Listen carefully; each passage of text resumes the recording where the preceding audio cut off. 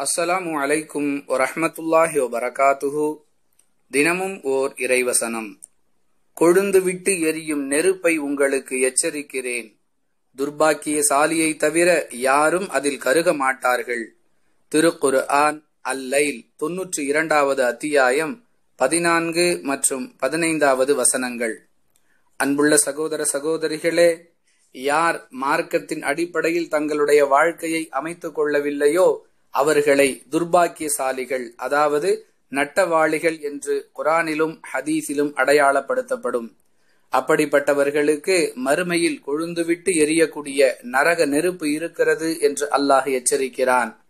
அந்த நெருப்பை விட்டும் உங்களை நீங்கள் பாதுகாத்துக் கொள்ள வேண்டுமென்றால் நீங்கள் நட்டவாளி ஆகாமல் இருக்க வேண்டும். யார் நட்டவாளி ஆகாமல் இருப்பார்? யார் மார்க்கத்தின் அடிப்படையில் வாழுகிறாரோ அவர்தான் என்று இவ்வசனத்தின் மூலம் அல்லாஹ் விளக்குகிறான்.